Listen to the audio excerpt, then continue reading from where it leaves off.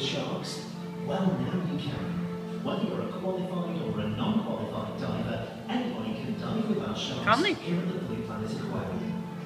Feel your adrenaline rush through your body as you come face to face with our sharks and experience their life I in dive with the shark. underwater world.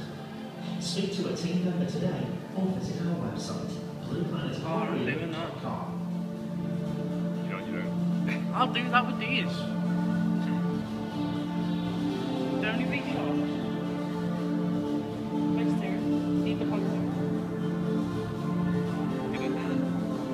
Well get in and do it now. Do that.